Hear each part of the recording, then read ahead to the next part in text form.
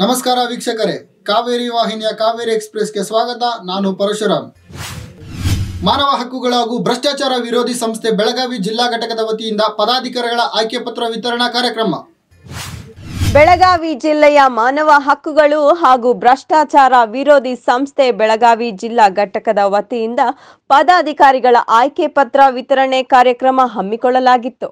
ಮಾನವ ಹಕ್ಕುಗಳು ಹಾಗೂ ಭ್ರಷ್ಟಾಚಾರ ವಿರೋಧಿ ಸಂಸ್ಥೆಯ ಬೆಳಗಾವಿ ಜಿಲ್ಲಾ ಅಧ್ಯಕ್ಷರು ಆಗಿರುವ ಮಹಂತೇಶ್ ಹೊಲಿಹಟ್ಟಿ ಅವರ ನೇತೃತ್ವದಲ್ಲಿ ಜಿಲ್ಲಾ ಘಟಕದ ಪದಾಧಿಕಾರಿಗಳನ್ನು ಆಯ್ಕೆ ಮಾಡಿ ಆಯ್ಕೆ ಪತ್ರ ವಿತರಣೆ ಮಾಡಿದರು. ಭಾರತದಲ್ಲಿ ಆಗುವ ಮಾನವ ಹಕ್ಕುಗಳು, ದೌರ್ಜನ್ಯ ಮತ್ತು ದೇಶದಲ್ಲಿ ನಡೆಯುತ್ತಿರುವ ಭ್ರಷ್ಟಾಚಾರವನ್ನು ತಡೆಗಟ್ಟುವುದು ಈ ಸಂಸ್ಥೆಯ ಉದ್ದೇಶ ಎಂದು ತಿಳಿಸಿದರು.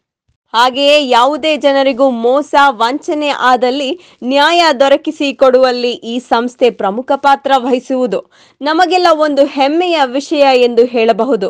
ಈ ಸಂದರ್ಭದಲ್ಲಿ ಸಮೀರ್ ಮುಲ್ಲಾ, ಚಂದ್ರಶೇಖರ್ ಪಾಟೀಲ್, ಸಂತೋಷ್ ಮೀನಚ್ಚಿ, ಯಲ್ಲಪ್ಪ ಲೋಹಾರ ಇನ್ನು ಹಲವಾರು ಸಂಸ್ಥೆಯ ಜನರು ಉಪಸ್ಥಿತರಿದ್ದರು. ಗುಬ್ಬಳ್ಳಿಯಲ್ಲಿ ಶ್ರೀ ಉಜ್ಜನಿ ಲಿಂಗೇಶ್ವರ ಜಾತ್ರಾ ಮಹೋತ್ಸವ. ಕೆಆರ್ಪೇಟೆ ತಾಲೂಕಿನ ಗುಬ್ಬಿ ಹಳ್ಳಿಯಲ್ಲಿ ಶ್ರೀ ಉಚ್ಚಲಿಂಗೇಶ್ವರ ಜಾತ್ರಾ ಮಹೋತ್ಸವವು ಸಾಂಸ್ಕೃತಿಕ ಪ್ರತಿಷ್ಠಾನದ ವತಿಯಿಂದ ಅದ್ದೂರಿಯಾಗಿ ನಡೆಯಿತು.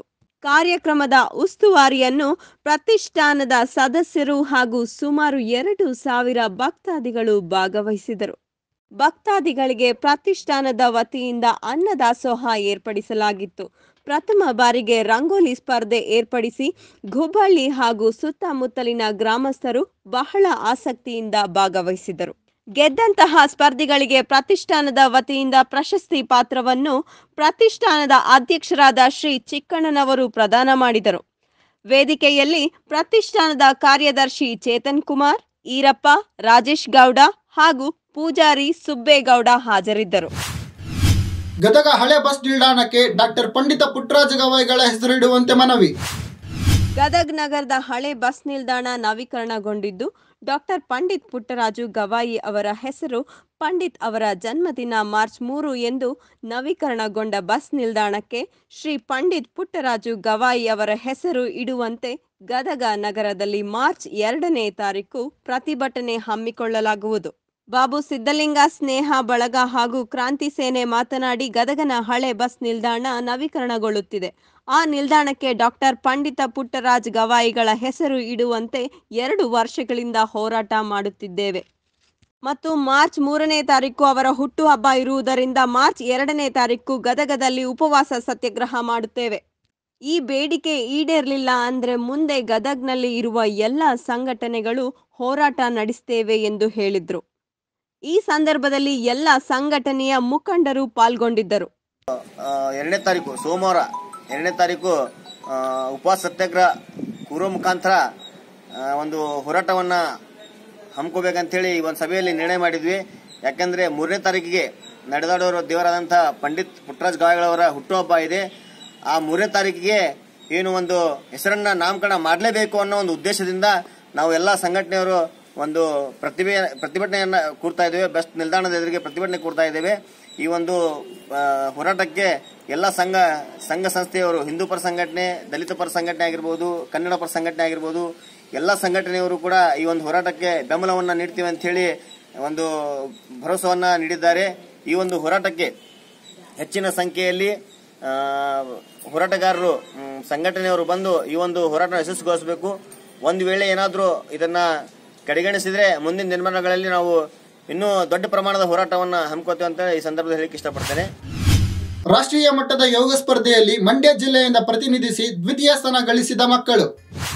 ಶಿವಮೊಗ್ಗದಲ್ಲಿ ನಡೆದಂತಹ ರಾಷ್ಟ್ರೀಯ ಮಟ್ಟದ ಯೋಗ ಸ್ಪರ್ಧೆಯಲ್ಲಿ ಮಂಡ್ಯ ಜಿಲ್ಲೆಯಿಂದ ಭಾಗವಹಿಸಿದ ರೇಖಾಮಣಿ ಹಾಗೂ ಚೇತನ್ ಕುಮಾರ್ ಅವರ ಇಬ್ಬರು ಮಕ್ಕಳಿಗೂ ಯೋಗ ಗುರುಗಳಾದ ಅಲ್ಲಮಪ್ರಭು ಅವರ ನೇತೃತ್ವದಲ್ಲಿ ಪ್ರಶಸ್ತಿ ಲಭಿಸಿದೆ. ತಾಲೂಕಿನ ಆಶೀರ್ವಾದ ಶಾಲೆಯ ಆರನೇ ತರಗತಿಯ ವಿದ್ಯಾರ್ಥಿಗಳಾದ ಪರಿಷಿತ್ ಮತ್ತು ನಾಲ್ಕನೇ ತರಗತಿಯ ಹೇಮಂತ್ ಕುಮಾರ್ ಇಬ್ಬರು ಭಾಗವಹಿಸಿ ಎಂಟರಿಂದ ಹನ್ನೊಂದು ವರ್ಷ ವಯಸ್ಸಿನ ವಿಭಾಗದ ಮತ್ತು ಹನ್ನೆರಡರಿಂದ ಹದಿನೈದು ವರ್ಷದ ವಿಭಾಗದಲ್ಲಿ ಇಬ್ಬರು ಸಹ ದ್ವಿತೀಯ ಸ್ಥಾನ ಗಳಿಸಿದ್ದಾರೆ. ಇವರಿಗೆ ಆಶೀರ್ವಾದ ಶಾಲೆಯ ಆಡಳಿತ ಮಂಡಳಿಯು ವಿದ್ಯಾರ್ಥಿಗಳಿಗೆ ಅಭಿನಂದನೆಗಳನ್ನು ಹಾಗೂ ಶುಭಾಶಯಗಳನ್ನು ಹೇಳಿದ್ದಾರೆ. ಇಳಕಲ್ ತಾಲೂಕಿನ ಗುಡೂರ ಗ್ರಾಮಸ್ಥರಿಂದ ನವಿಲು ರಕ್ಷಣೆ.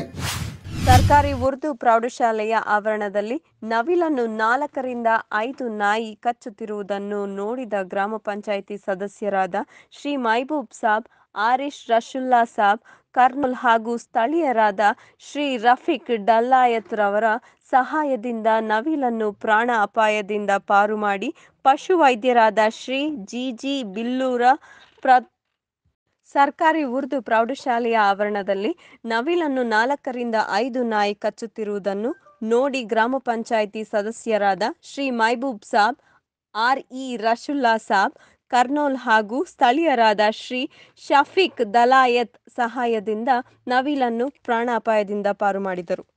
ಪಶುವೈದ್ಯರಾದ ಶ್ರೀ ಜಿ ಜಿ ಬಿಲ್ಲೂರ ಪ್ರಥಮ ಚಿಕಿತ್ಸೆ ನೀಡಿ ನಂತರ ಗುಡೂರಿನ ಪೊಲೀಸ್ ಠಾಣೆ ಸಿಬ್ಬಂದಿಯಾದ ವಾಲಿಕಾರ ಸಹಾಯದಿಂದ ಅರಣ್ಯ ರಕ್ಷಕ ಚೌಕಿ ಮಠಕ್ಕೆ ಹಸ್ತಾಂತರ ಮಾಡಲಾಯಿತು. ನವಿಲನ್ನು ರಕ್ಷಣೆ ಮಾಡಿ ಮಾತನಾಡಿದ ಗುಡೂರು ಗ್ರಾಮದ ಪಂಚಾಯತ್ ಸದಸ್ಯರಾದ ಶ್ರೀ ಮೈಬೂಬ್ ಸಾಬ್ ಆರಿ ಮಾತನಾಡಿ, ಶಾಲೆಯ ಆವರಣದಲ್ಲಿ ನಾಯಿಗಳು ನವಿಲನ್ನು ಕಚ್ಚುವುದನ್ನು ನೋಡಿ ನಾವು ರಕ್ಷಣೆ ಮಾಡಿದ್ದೇವೆ. ರಾಷ್ಟ್ರ ಪಕ್ಷಿಯನ್ನು ರಕ್ಷಣೆ ಮಾಡುವುದು ನಮ್ಮ ನಿಮ್ಮೆಲ್ಲರ ಕರ್ತವ್ಯ ಎಂದು ಹೇಳಿದರು. ಬೆಂಗಳೂರಿನ KS school of engineering and management ಕಾಲೇಜಿನಲ್ಲಿ ಆರನೇ ವರ್ಷದ ಘಟಿಕೋತ್ಸವ ಕಾರ್ಯಕ್ರಮ. ಇಂದು ಬೆಂಗಳೂರಿನ KS school of engineering and management ತಾಂತ್ರಿಕ ಕಾಲೇಜಿನಲ್ಲಿ ಎರಡು ಸಾವಿರದ ಹತ್ತೊಂಬತ್ತು ಇಪ್ಪತ್ತು ಸಾಲಿನ ಆರನೇ ವರ್ಷದ ಘಟಕೋತ್ಸವ ಕಾರ್ಯಕ್ರಮ ಜರುಗಿತು. ಈ ಸಂದರ್ಭದಲ್ಲಿ ಮುಖ್ಯ ಅತಿಥಿಗಳಾಗಿ ಭಾಗವಹಿಸಿದ ಡಾಕ್ಟರ್ ಎಚ್ ಪಿ ಕಿಚ್ಚ, ವಿಶ್ರಾಂತ ಉಪಕುಲಪತಿಗಳು ವಿಟಿಯು ರವರು ಮಾತನಾಡಿ, ವಿದ್ಯಾರ್ಥಿಗಳು ತಮ್ಮ ತಾಂತ್ರಿಕ ಕೌಶಲ್ಯವನ್ನು ಬಹಳ ಮುಖ್ಯವಾಗಿ ನ್ಯಾನೋ ಟೆಕ್ನಾಲಜಿ ಹಾಗೂ ಡೇಟಾ ಅನಲಿಟಿಕಲ್ ಬಳಸಿಕೊಳ್ಳಲು ಸಲಹೆ ಕೊಟ್ಟರು. ಹಾಗೂ ಡಾಕ್ಟರ್ ಕವಿ ಮಹೇಶ್ ನಿರ್ದೇಶಕರು ಐಐಟಿ ಧಾರವಾಡರವರು ಮಾತನಾಡಿ, ಪದವೀಧರ ವಿದ್ಯಾರ್ಥಿಗಳು ಕೆಲವು ಮೌಲ್ಯಧಾರಿ ಗುಣಗಳನ್ನು ರೂಢಿಸಿಕೊಳ್ಳುವಂತೆ ಸಲಹೆ ನೀಡಿದರು. ಇದೇ ಸಂದರ್ಭದಲ್ಲಿ ಕಾಲೇಜಿನ ಪ್ರಾಂಶುಪಾಲರಾದ ಡಾಕ್ಟರ್ ರಾಮು ನರಸಿಂಹರವರು ಸ್ವಾಗತ ಭಾಷಣದಲ್ಲಿ ಕಾಲೇಜಿನ ಹಾಗೂ ಕಾಮವಾರಿ ಸಂಘದ ಸಂಸ್ಥೆಗಳ ಬಗ್ಗೆ ಮಾಹಿತಿ ನೀಡಿದರು. ಕಾರ್ಯಕ್ರಮದಲ್ಲಿ ಸಂಸ್ಥೆಯ ಸಿಇಒ ಡಾಕ್ಟರ್ ಬಾಲಾಜಿರವರು ಉಪಸ್ಥಿತರಿದ್ದರು. ಕಾರ್ಯಕ್ರಮದಲ್ಲಿ ಸಂಸ್ಥೆಯ ಅಧ್ಯಕ್ಷರಾದ ಶ್ರೀ ವೈ ರಾಮಚಂದ್ರ ನಾಯ್ಡು ಮತ್ತು ಕಾರ್ಯದರ್ಶಿಗಳಾದ ಶಿ ಕೆ ವೆಂಕಟೇಶ್ ನಾಯ್ಡುರವರ ಗಟ್ಟಿಕೋತ್ಸವ ಕಾರ್ಯಕ್ರಮಕ್ಕೆ ಚಾಲನೆ ನೀಡಿದರು. ಕಾರ್ಯಕ್ರಮವನ್ನು ಸಂಘದ ಇತರೆ ಪದಾಧಿಕಾರಿಗಳು ಭಾಗವಹಿಸಿದರು. ಇದೇ ಈ ಹೊತ್ತಿನ ಕಾವೇರಿ ಎಕ್ಸ್ಪ್ರೆಸ್. ಮತ್ತಷ್ಟು ಸುದ್ದಿಗಾಗಿ ನೋಡ್ತಾ ಇರಿ ಕಾವೇರಿ ಟಿವಿ ಕನ್ನಡ. ನಮ್ಮ ಚಿತ್ತ ಜನರತ್ತ.